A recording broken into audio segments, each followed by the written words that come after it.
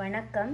இன்னைக்கு வந்து ஒரு ஹோம் ரெமெடி தான் ஷேர் பண்ணுறேன் நல்ல தூக்கம் வர்றதுக்கு நம்ம என்ன பண்ணணும் அப்படிங்கிறது எனக்கு தெரிஞ்சதை நான் உங்ககிட்ட ஷேர் பண்ணுறேன் அதுக்கு நான் இன்னைக்கு ஒரு வாழைப்பழம் எடுத்திருக்கிறேன்.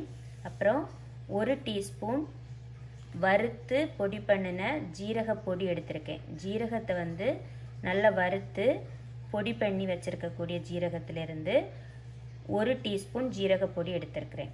இந்த ரெண்டும் தான் வந்து தேவையான பொருட்கள்.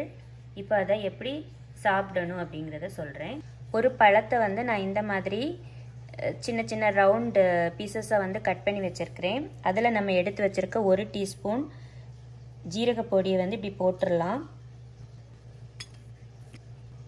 போட்டு இதை இப்படி நல்லா த இது பண்ணி விட்டுடலாம். இந்த பழத்தில் வந்து நல்லா சேர்றது மாதிரி நம்ம பண்ணி விட்டுடலாம்.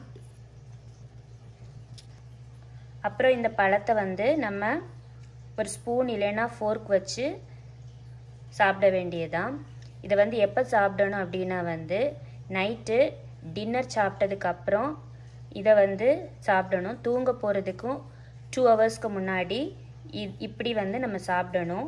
இப்படி நம்ம சாப்பிட்டோன்னா நல்ல தூக்கம் வரும். நாள்பட்ட தூக்கமின்மை கூட இதை வந்து நம்ம கண்டினியூஸாக சாப்பிட்டுட்டு வந்தால் சரியாயிடும். சில பேருக்கு வந்து ரொம்ப நாளாகவே தூக்கம் வராமல் இருக்கும். அவங்க வந்து இதை கண்டினியூஸாக டென் டேஸ் சாப்பிட்டா அவங்க அவங்களுக்கு வந்து நல்ல தூக்கம் வரும். அதுக்கப்புறம் டென் டேஸ் வந்து கண்டினியூஸாக சாப்பிட்டதுக்கப்புறம் weekly two days or three days வந்து இந்த மாதிரி சாப்பிட்டா நல்ல தூக்கம் வரும்.